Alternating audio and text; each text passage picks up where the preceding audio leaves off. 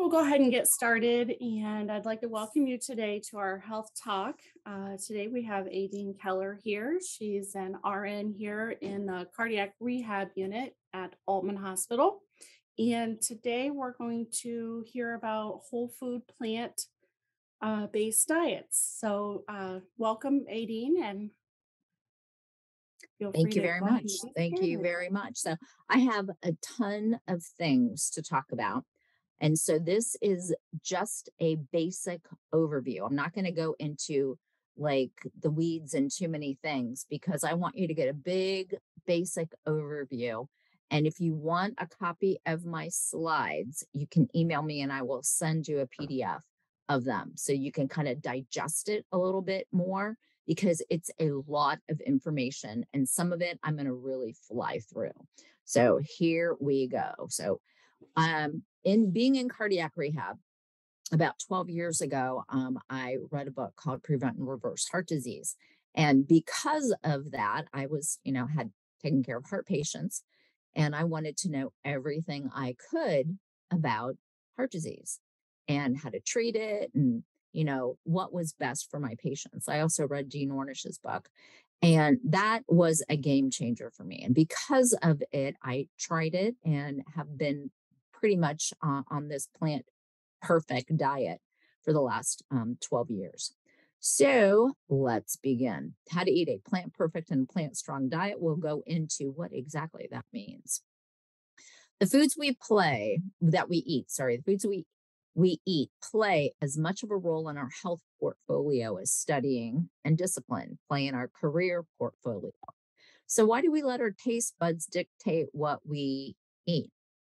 We don't go to college and then just sleep in and goof off if we want to get good grades. We study, we discipline ourselves. So, why do we let eating just, you know, uh, do whatever we want? Why do we, why do we do that? I have no idea. Um, well, maybe it's something to do with being indoctrinated. We are have constant, constant images ever since we're little about what's fun, what we should eat, what's cool. We have celebrities, you know, looking really good and telling us what to eat. I say anything a celebrity is trying to sell you, uh, it's suspect. Did you guys see the new adult Happy Meals too? That's that's disturbing. Anyways, um, I did see those. Uh, it's like, oh my goodness, that's that's crazy. And and people are going crazy over it. They want these little toys. It's like, grow up, people. Yeah. Um, it reminds me kind of of back in the night, it was 1941, I believe. Vitamins had been discovered and they started putting vitamins in donuts and started advertising. Hey, vitamin donuts gives you pep and vigor because it has B1 vitamins in it, right? Well, adding a vitamin, fortifying a junk food does not a health food make. So I hope you get that in your brain today. Adding vitamins to something to healthify it does not do that.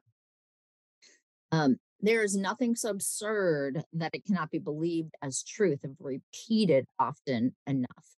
And I think that is true with our food choices. Uh, back in 2010, the Canadian um, Broadcasters Association, the ones in charge of the televisions in uh, or the advertisements in Canada, they they wanted to prove that they could pretty much sell anything on TV. And so they ran a two week series of advertisements for broccoli and extolling the virtues of broccoli, how fabulous it was. And, you know, guy falls out of a plane and and his parachute doesn't open yet he survives and how miraculous that was but no not not as miraculous as broccoli and these advertisements um, went on for two weeks and the results were in two weeks they increased broccoli sales by more than 5% using nothing but television advertisement. Can you imagine now being bombarded with social media and every time you turn on your phone, something, you know, pops up. Hey, look at this. Hey, the celebrity is eating this. how impactful that is. Um, working in cardiac rehab, I go over diets of people, and it is just terrible what people think is a healthy diet. We are very, we have a distorted view of what a healthy diet is. We have anything from Atkins, very, very high fat. We get mostly fat and meat and very, very low carb to other ones. So, um, the South Beach diet actually is not a bad one. The DASH diet has been um, tried and true as well. But I'm going to focus today on these two. Reversing Heart Disease by Dean Ornish. He's a cardiologist out of California, and he has been studying heart disease for over 30 years. And he does have um, scientific um, study published studies about reversing heart disease, as does Dr. Caldwell Esselstyn out of Cleveland Clinic. There's also a nutri- nutritarian diet from Joel Fuhrman, which I'm a big fan of his. Um, his diet is 10 to 15% fat, so it's still very low in fat, but his is um, focuses more on, on on other foods, but it's still pretty much plant based. It's it's a really good diet as well. So for a plant perfect diet for Dr. Esselstyn's diet, no animal products or any animals, so no meat, um, except for honey. This isn't technically a vegan diet because vegans don't eat honey and they don't wear leather. This is not a vegan diet. This is a whole food, plant based diet. Um, fish and poultry are considered animals, so no. Um, some people say, I don't eat meat, I just eat chicken. Well, chicken is meat. Um, no oil, and we'll go into why that is. No nuts or him, except nut milks. And the reason is the very, very high fat content. Um, the goal is to keep the the um, calories less than 10% fat. And once you start eating nuts, it just goes crazy. Um, one one ounce serving of nuts, peanuts, for example, has about 14 grams of fat. Um, so it's mostly fat. And the limitation of the fact that a person on this diet to reverse a disease is only about 20 to 22 grams for the entire day. So if you eat one serving of nuts, you just, you know, are over halfway there. So that's why he says no nuts. It's not that nuts are bad, it's just that they're very high in fat. And we'll go into, you know, why. Uh, no fruit juice because we don't want you to drink your calories. And that's a good overall, just about anybody. We shouldn't be drinking tons of calories. Um, they add up very quickly.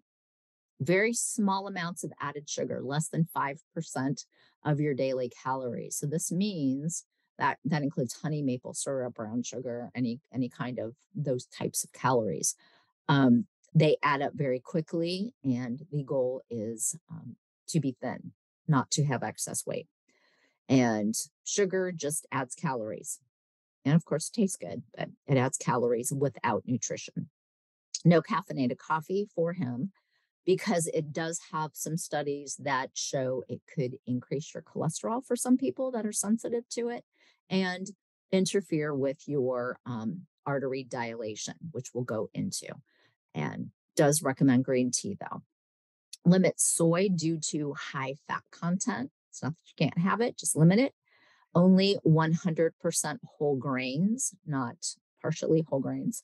No avocados or coconut for the plant perfect due to high saturated fats and lots and lots of greens, especially when somebody's starting on this diet and they are having angina. Like, for example, my dad three years ago was diagnosed with severe coronary artery disease in three of his coronary arteries, all three of them. And it, they were on the top part of his arteries, and on, on the bottom. And he, they, they couldn't do surgery. He's very high risk. So he went on this diet and within weeks, he went from not being able to walk five minutes without getting chest pain to being able to walk on the treadmill. He went through cardiac rehab and it was a two month program for him. And by the time he was finished with cardiac rehab, he could walk on the treadmill for half an hour, not having any chest pain, which is giant. He had no procedures.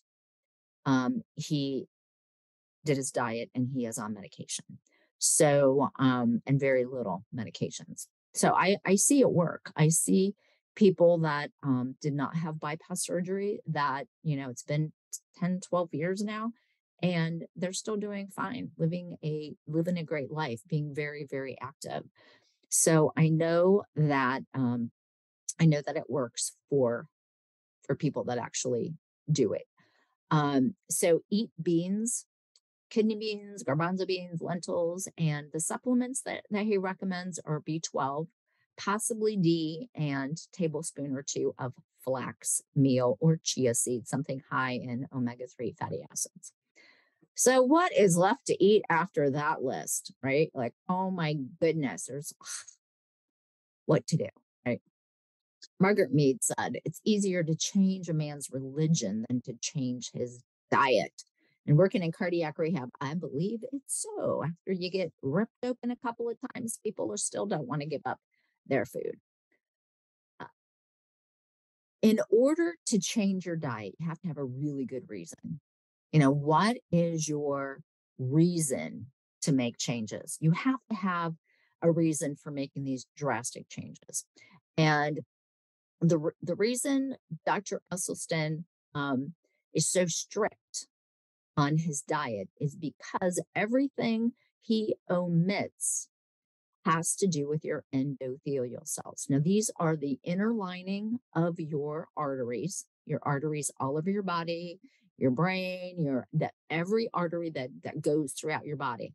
They line your arteries, they line your veins. It's all of your vasculature. It is lined with these endothelial cells.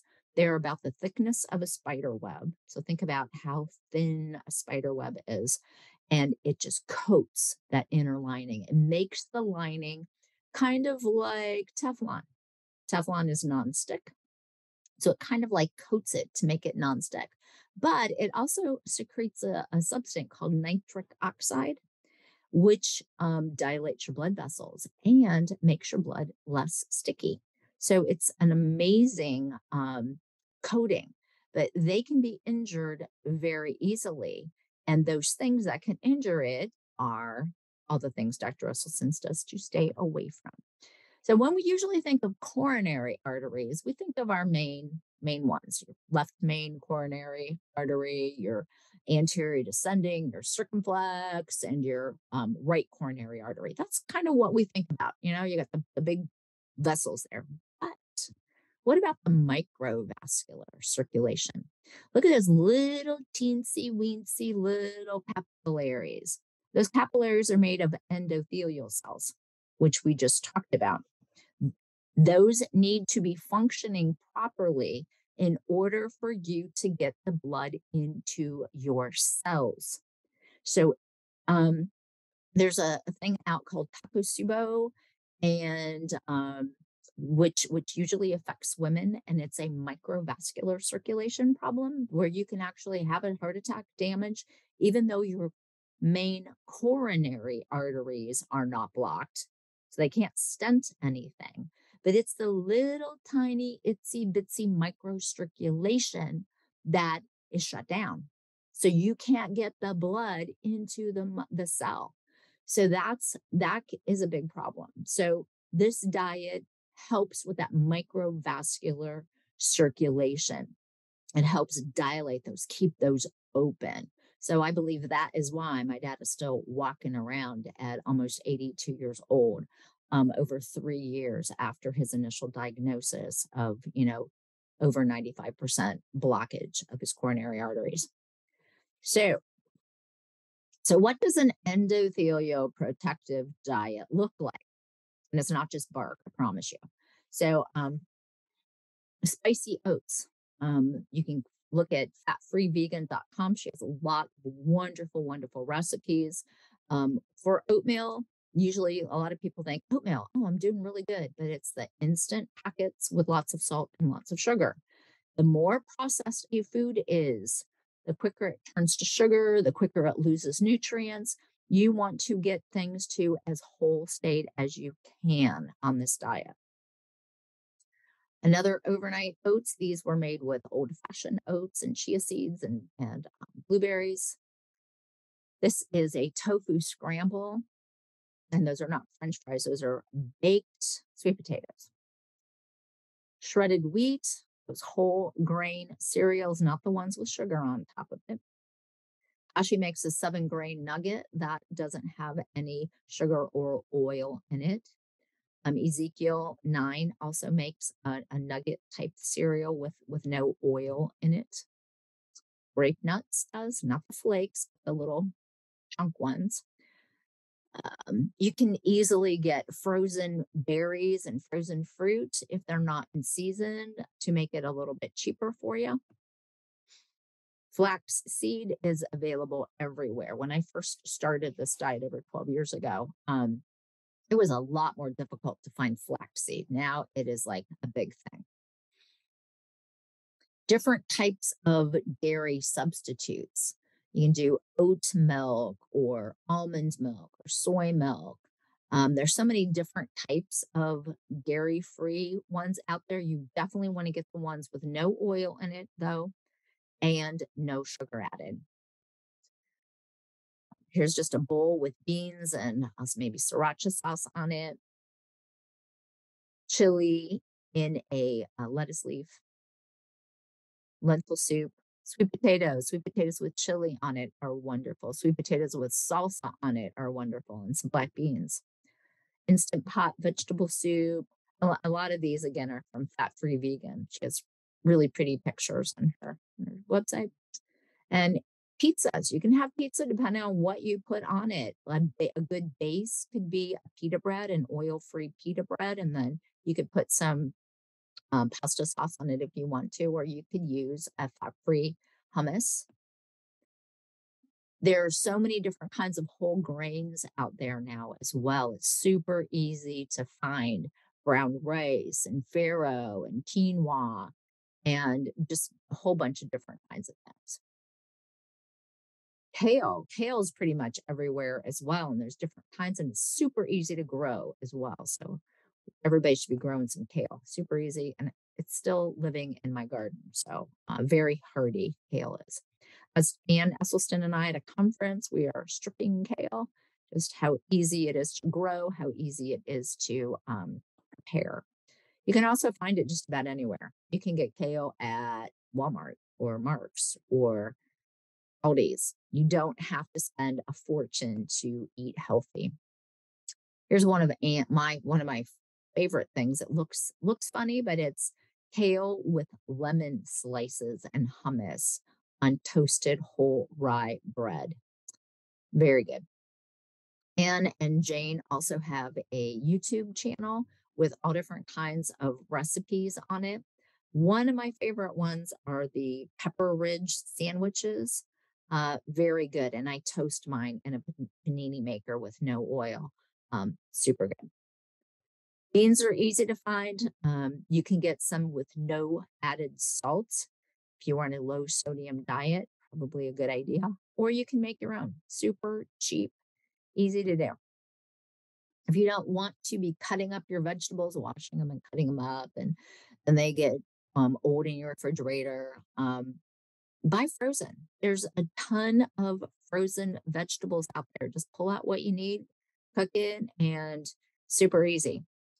Spice it up with some sriracha. My favorite is Cholula sauce because it doesn't have that mm, sour mash taste like um, other hot sauces do. And tamari. I put a picture of it on here because a lot of the recipes have tamari in it and it is a lower sodium type of soy sauce. Ezekiel 9 makes a sprouted grain tortillas. Oil free tortillas are very hard to find. Um, it is in the freezer section of most health food stores. Um, and it makes good burritos if you warm them up. And it makes good crackers too. Oil free hummus, super easy to make, but um, you can also get it at Raisin Rack has the oil free one. Amir is the only oil-free one I know. It does have a little tahini in it, but this one's oil-free. Um, make it pretty. So if you have company over, make it pretty. You can do like a um ranch type of a of a dressing with um and it's made with tofu and you can put put veggies in it. So that's something anybody who even isn't following a whole food plant-based diet would try. Like, no, who doesn't like ranch and veggies? Greens are super easy to find as well.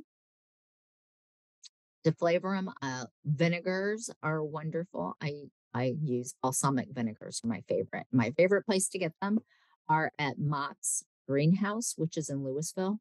They have a whole room of different kind of uh, balsamic vinegars that you can taste. So I probably will drink um, half a cup to a cup of them by the time I'm done tasting everything. Anyways, they're really, really good. My favorite right now is the Sicilian lemon. Butternut squash roll ups, and this is from Forks Over Knives.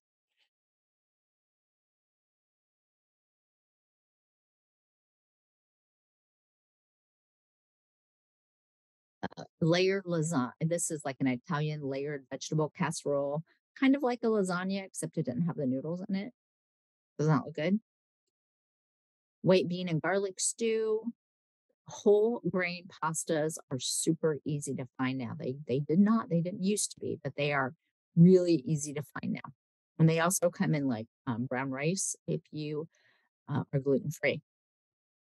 Sauce is a little bit more difficult to find that don't have oil in it. They usually have something bad in it, whether it's oil or sugar or salt or something. So making your own is probably the best way to do it. But if you do get uh, a jarred one with no oil, you can always add a um, sauce that doesn't have anything in it or just chopped tomatoes with it and then add a few ingredients on your own. So you don't have to totally, it can be like semi homemade. Um, Walnut Acres has one that ha- it's tomato basil, and then there's another one at Aldi's. It's one of their organic ones um, that doesn't have oil in it. But oil-free pasta sauces are very difficult to find. Oil-free, salt-free tomatoes are very easy to find. Salsas are are a good option as well. You can add them to rice. You can add them to, like I said, the sweet potatoes. Salsas usually have no oil, but always check your ingredients. Vegetable broths. Um, you got to be wary of the sodium in them. This one's not bad. It's 135 milligrams per cup, but this one's 480. And this one is 800 milligrams for vegetable broth. So just be buyer beware. Watch your watch your sodium content. Bob's Red Mill makes a whole host of different kinds of whole grains. Berlin Bakery makes several different no oil types of bread that don't have any added sugar either. They do have, I believe, honey to um, make the yeast rise, but um, they're very, very good. You can get them either at the health food store in the freezer section or order online. You can get around here, Alvarado Street, which I've found at Marc's before, and I've also found in the freezer section at the health food stores. And Aldi's also has a couple of different types of no oil added um, breads. So Aldi's has a little bit of honey. It has no oil. It has it's it's vegan. It, and then versus whole grain brown berry, which you think is really good, but it has it has soybean oil and it also has whey, which is an animal product. What to eat for snacks? Air pop popcorn. It's boring by itself. So spritz a little bit of Bragg's liquid aminos on it and some nutritional yeast. And that really perks it up. So you can eat a bunch of popcorn for very little calories and no oil. Um, crackers. Uh, one of my favorite ones. I don't eat crackers very much. They're still very high in calories. Um, and I just don't keep them in the house. But if I have company over or something, maybe Mary's Gone Crackers is is a good um is a good one. and put maybe hummus on it instead of cheese, which we're used to doing. Here's a comparison of Ritz crackers versus Mary's Gone crackers. They have about the same amount of calories. Mary's Gone crackers is a little bit more. Um, and Mary's Gone Crackers has a little bit more fat. Remember, we need to limit our fat in the reversal program. If you don't have to reverse heart disease, and if you don't have to um, lose weight, um, then you could have more stuff. Like I don't have heart disease, but I try to follow this so I can speak about it to my to my patients. Um, but if you are just trying to be a healthy person, um, you could have a little bit more. Um, but look at the ingredients. Whole grains, whole grain rice, that gets its fat from um, flaxseed and sesame seeds, whereas the Ritz crackers gets its fat from oil, from safflower oil, and everything in it is processed. So we want to move away from processed stuff and get to the more whole foods. Matzah crackers that come in whole wheat, Chips. It's very difficult to find an oil free chip, and I love chips and salsa. So I make my own. I use flour tortilla, uh, not flour tortillas. It should say um, corn tortillas. Sorry, it should be the corn tortillas. Uh, cut those up, put them in the oven, and and bake them, and they they make a really nice chip. Yonanas that's been out probably about eight years, nine years, maybe a little bit more than that. Um, you take frozen bananas and run them through, and it kind of blends them up into a soft serve ice cream type of a thing. Um, which I I got one and I didn't use it as much as I thought I would. I use my Vitamix more. But there's a new machine out there that I want so bad, but it's like 200 bucks. It's called a Ninja Creami. It takes pretty much anything. You can have fruit, you can and it, it creamifies it into an ice cream type of consistency. So oh, it's totally on my Christmas list on that one. And where do you get your protein? The same place your protein gets theirs. Where do cows get protein? They eat a lot of grass and grains. Gorillas, pretty much vegan diet. That's where we get it. It's in the food. So, and how much protein do we need, anyways? So, a lot of people are like, oh, I'm just really tired. I get some protein. But did you know that protein isn't your body's first choice for energy? We don't burn protein for energy. It's the most inefficient fuel our body can use for energy. Our body uses carbohydrates, ones that carbohydrates turn to sugar. Our body uses sugar as fuel. Um, if you ever know a runner, if you are a runner, they carb load. They eat a lot of carbs so that they can perform well. Their muscles need carbs. Um, so we only need about 0.8 grams per kilogram of body weight. So a 150 pound person would need about 54 grams of protein per day unless you're a bodybuilder, then you need a little bit more. Unless um, there there are some other exceptions, maybe you're have an injury and you're healing, you need a little bit more protein. But on average, um, that's all that's all the protein that you need. In 2015, only one in 10 adults consumed enough fruits and vegetables daily. I think it's a lot less than that now.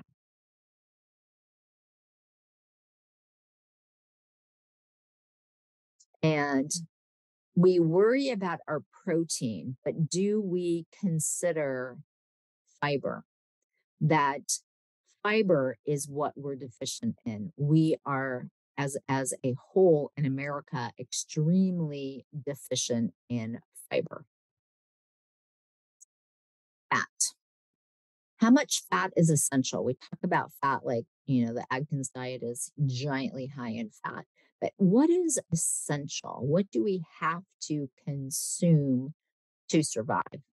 We only need about 3% of our calories to come from essential fatty acids. Essential means we have to consume it. Um, our body doesn't naturally make it. We have to consume that type of fat. And The fats that are essential are omega 3 fatty acids and omega 6 fatty acids. Um, and how much should we consume? Well, the low fat camp, which is Ornish, Esselstyn, McDougall, and you could put Joel um, Fuhrman on there as well for the most part, right around 10% of your calories um, could or should come from fat. The high fat camps are like the American Heart Association, the um, National Heart, Lung, and Blood Institute, the American Dietetic Association, and the USDA. Theirs are 20 to 35% of the calories can come from fat. Um, when you're looking at your food label, it's a good rule of thumb to look at it and keep your calories less than 20% of your calories from fat. I know I said 10% a little bit ago, but not all of your food is going to have a label, like your fruits and vegetables aren't going to have a label. Um, so, something that you're looking at that has a label, make sure that it's less than 20% of the calories from fat. That limits, that helps you limit unhealthy fats and helps you limit your calorie density. Omega 3 to 6 ratio. This is important. So, how many omega 6 units versus how many omega 3s? Ratio matters. Um, in a study, it was in 2002, in secondary prevention of cardiovascular disease, a ratio of four to one, four omega 6s to one, was associated with a 70% decrease in total mortality. And I thought it was interesting. Um, different ratio amounts also help with rectal cancer as well as breast cancer and helping with rheumatoid arthritis as well. Keeping those ratios um, within a, a, low proportion is is healthy whereas a ratio of 10 omega 6s to 1 omega 3 had adverse consequences well, what about taking a supplement, right? Dr. Oz says, hey, take fish krill oil. I think this is big thing. It used to be his big thing when I used to watch him. Um, well, not so much because excessive omega 6s, which are found in pretty much all foods, um, it's you you if you eat food, you will get enough omega 6s. It's more difficult to get your omega 3s. But if you eat a lot of omega 6s and then you try to supplement and help that ratio um, by eating a lot of supplements, it doesn't work because they compete for the same enzyme that breaks them down. And so you're still going to have too much omega 6. So, no oil. All oils have a combination of different fats in them. They have saturated fats, which is shown in red. They have uh, monounsaturated fats, MUFAs, um, oleic acid or omega 9s. They're shown in the orange or yellow, I should say. Then you have omega 3s in orange, and you have your omega 6s in blue. So I know we hear a lot about olive oil, how fabulous olive oil is for you. Well, what's the ratio? We got a lot. We got some saturated fats there. Yes. And we have omega 9s. Saturated omega 9s are not essential fatty acids, right? Only sixes and threes are essential. And it doesn't have very much omega 3s at all. Like 1% of it is omega 3s, very, very small percentage. Um, so, not the best thing. Best thing would be like flax and we don't rec- I don't recommend flax oil, goes rancid very quickly and doesn't have it's very processed. So eating the whole food is best. So I like to think of your coronary arteries, your vasculature as your house. Okay. If your house was on fire, would you put one can of gasoline on your house? No, you wouldn't do that. It's just a little can. It's a big house. What difference is it going to make, right? When your house is on fire, you want to snuff the flames out. You don't want to add an accelerant on that. So, oil, yes, if your house wasn't on fire, you didn't have coronary artery disease, then you could get by with it. Sure, go ahead. If you're if you're not don't have excess weight, if you don't have um, any disease process, no family history of it, you're good, you're um, then you can probably get by with it. You know, a house on fire, and if it's not on fire, if you throw some gas on it, it's not going to combust, right?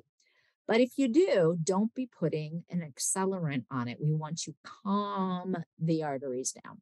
And that's what a low fat, whole food, plant based diet does. So, eating that healthy diet plus regular exercise, stress reduction, smoking cessation, keeping your blood pressure under control, all of those things calm that inflammation in your arteries. Things that increase the inflammation is insulin resistance, like diabetes, excessive fructose, refined carbohydrates, and too much omega 6s and too much other fats. Um, Dr. Esselstyn recommends one to two tablespoons of ground flax a day to get your omega 3s. It could be chia seeds too. Chia seeds, they're not just for chia pets. Who knew? Um, Dean Ornish um, used to eh, recommend fish oil. He did step back on that a little bit recently because there has been a study that came out last year, I believe, that um, links high doses of omega 3 fatty acid fish supplements to prostate cancer. So it, I don't know if it was it wasn't a causation, but it was a um, a correlation. So they stepped back a little bit on that recommendation. And why no meat? Why is he so picky on the meat? It has to do with the stuff. Oh, a couple of things. It has to do with your flow mediated dilatation, your artery dilation. There's a test that you can check that out. It's called a brachial artery tourniquet test. It's where you stop the flow of blood in your arm, put a blood pressure cuff around it, um, first measure the size of the artery by an ultrasound, then put blood pressure cuff around it, stop the flow of blood, for five minutes. That would hurt, and it does. Stop the flow of blood, then release it and see how well your arteries dilate. In a normal person, that lack of blood flow will start making your your telling your body to dilate it'll say dilate those blood vessels dilate those blood vessels if your endothelial cells are working properly it will dilate to get blood there if they're not working properly, you will not see increased blood flow. You will not see those getting larger. Well, a whole food plant based diet improved it the best. So, a baseline, eating nothing, that's what the baseline is. South Beach diet did show improvement. They have lots of vegetables on there, not just oils, but plant based diet rocked with dilating those blood vessels. So think of that microvascular circulation. We want to dilate every little um, capillary that we have. Whereas the Atkins or high fat diet reduced that. It was it was the lowest. Another reason no meat is TMAO, trimethylamine oxide. There was a study um, 19, oh, 2014, 2013, 2014, I believe is when it came out, um, that showed that, that tested people who ate meat versus people that did not eat meat or any animal products. And it had to do with the gut bacteria. So when you eat carnitine or choline, which is found a lot, it's in vegetables too, but it's found a lot in meat, um, shellfish, and eggs and dairy. And when the person eat that, ate that, it in your gut bacteria, it mixed with that and it produced something called TMA, trimethylamine, which went to your liver and produced TMAO, which is difficult, which which increases your production of, of atherosclerosis. It, it kind of um, hardens the arteries, makes the arteries plug up more. So we don't want that. We don't want clogged arteries. We want arteries that open nice. Um, the ones who did not eat that, those types of foods, they did not produce TMAO. Salt recommendations. Um, not super strict on salt. Um, the, the goal is less than 2,300 milligrams per day, which is about a teaspoon. Um, and not everybody is the same. Some people need a little bit more than others. Um, people with heart failure, systolic heart failure, they might really need to restrict their sodium level. Whereas um, a heart patient who doesn't have any heart failure wouldn't need to be as restrictive with their sodium. So it's not a one size fits all um, by, by any means. Where do we get our salt? Most of it is in processed foods and restaurant foods. 12% is naturally occurring. We need about 500 milligrams of sodium per day um, in our in our diets, and we would totally get that if we added nothing. We just ate foods out of the out of the garden, um, we would get enough sodium. Uh, 6% is added at the table and 5% with cooking. Carbohydrates. Carbs get a bad rap. I believe Americans are carbophobic. We're just, oh, I'm counting my carbs. I got to worry about carbs. But not all carbs are created equally. The average person gets less than one serving of unprocessed whole carbs a day. Carbs are the preferred fuel for your body. Your body burns them and turns them into glucose, which we use for fuel. Unprocessed carbs are low in calories and calorie density. These are things like fresh fruits, vegetables, starchy vegetables, whole grains, and legumes. They contain lots of vitamins and micronutrients and prebiotics. We've all heard of probiotics, right? Probiotics uh, um, in cultured foods, Culturelle, um, yogurts, kimchi, kefir, that that type of thing, um, sauerkraut. Probiotics are that type of thing, those bacteria, but prebiotics are the food that those little bugs eat. So they eat fiber. There's an inverse relationship between fiber intake and cardiovascular disease and stroke. So the more fiber in whole foods, I don't think it would work if you just ate a bottle of Metamucil every day. Okay. But whole foods, the less disease, um, which one of the doctor a long time ago coined the phrase. He said, bigger bowel movements, smaller hospitals. And small bowel movements, big hospitals. So people that ate whole food, plant based, they didn't have as much disease and they didn't need as many hospitals. Uh, for every 10 grams of increased fiber over the minimum amount, minimum is 25 grams a day, there was a 10% reduction in cardiac events which I think is huge. Usually, when we think of carbs, though, the problem is 90% of our carbs are refined, which have little to no fiber, vitamins, or nutrients unless they're sprinkled on it, like those vitamin donuts were back in 1941. Um, they're high in calories and calorie density. They're white flour, white sugar, white rice, cakes, cookies, pretzels, donuts, fries, all of those things. That is what we need to avoid. The evils of refining food eliminates water, reduces or eliminates the fiber, and reduces the nutrient content of the food. So, when you're looking at carbs, when you're looking at your nutrient label, your ingredient label, the words should say whole, rolled, stone ground, or cracked so that you know that is a whole grain product things that just say wheat or white or durum or semolina or bleached or unbleached or enriched um, are things to avoid. So, oats. Oat groat are the whole oats. Steel cut oats, just take that and chop it a little bit. Scottish oats, just take the whole oat groat and chop it a little bit more. Oat bran separates the bran from the rest of it. Old fashioned oats, kind of steam it and just smash it a little bit. Um, quick oats, though, it's more processed. So you want to stay away from the more processed foods. The more processed it is, the quicker it turns to sugar in our body and the quicker it loses nutrients. And we want to keep the nutrients as much as we can. So we want more nutrition.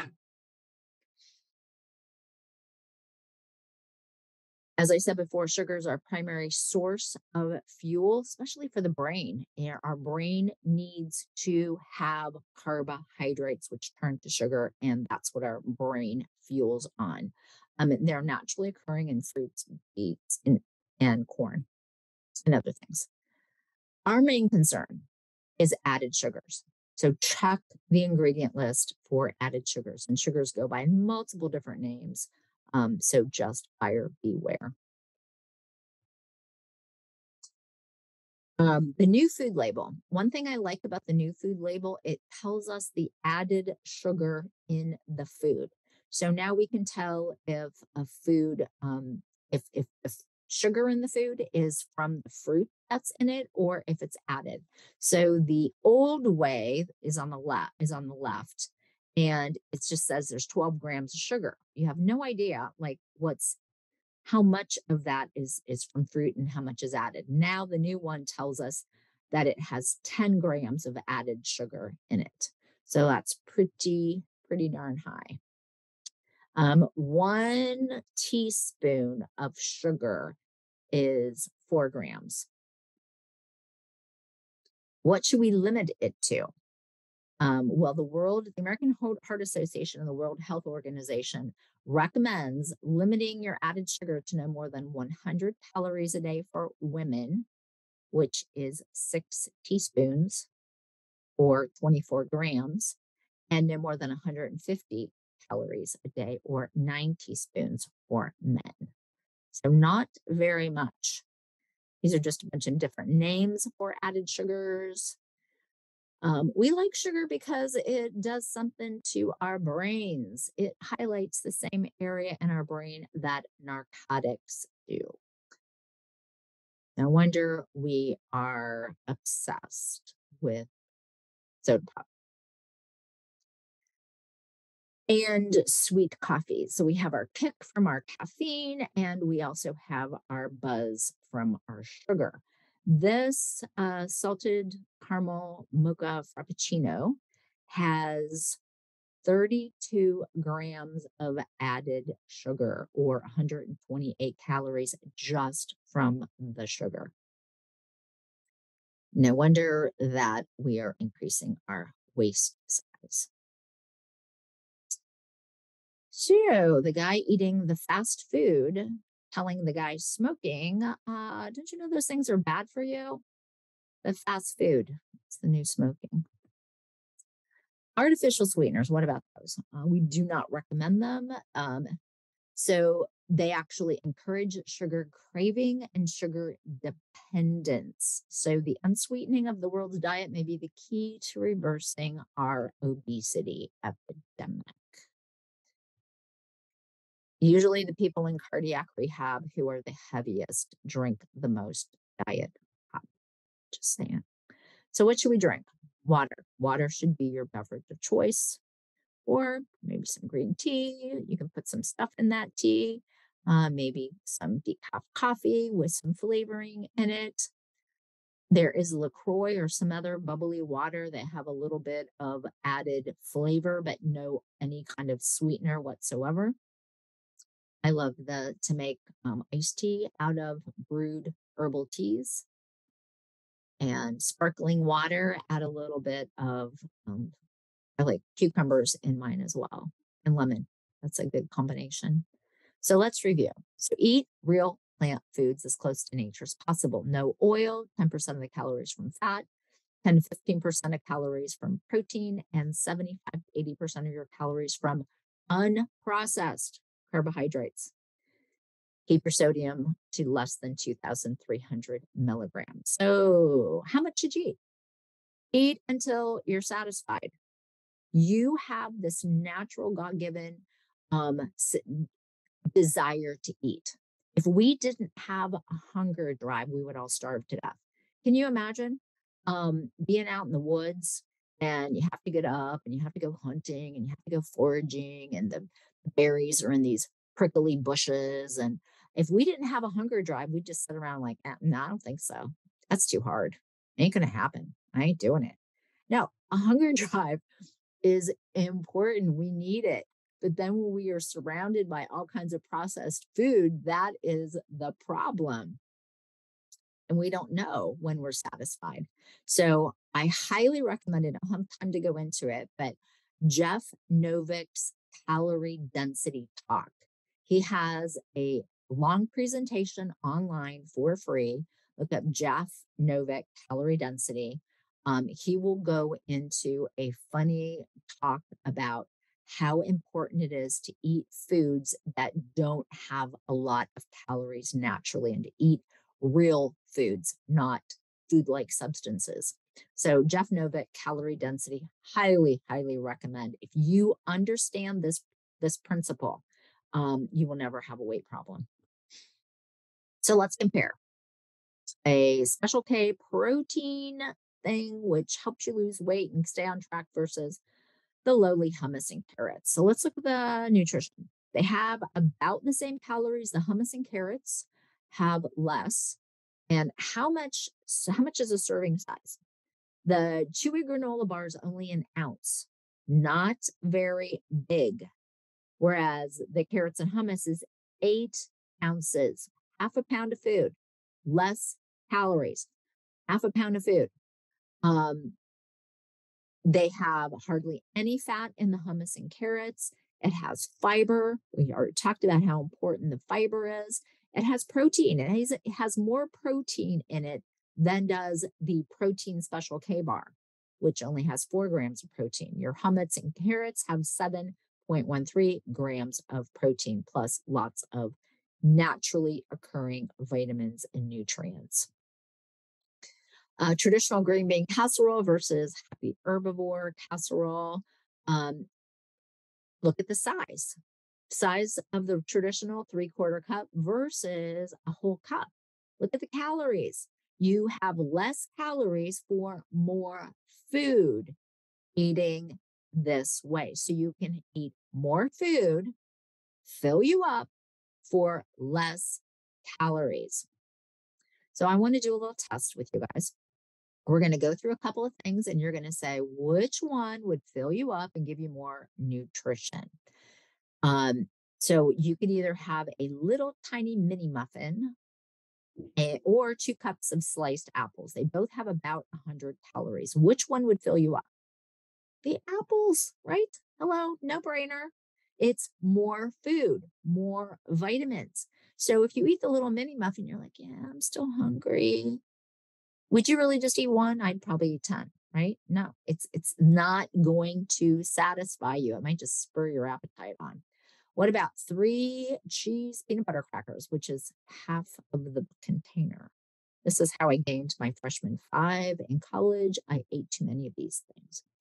Um, or two cups of cantaloupe. Which one would fill you up? The cantaloupe. Has lots of water, nutrition. It's and it's good for you, more vitamins. So it would fill you up, satisfy you. What about orange juice? Seven ounces, or a cup and a quarter of fresh blueberries. The blueberries would fill you up. The orange juice might just increase your appetite.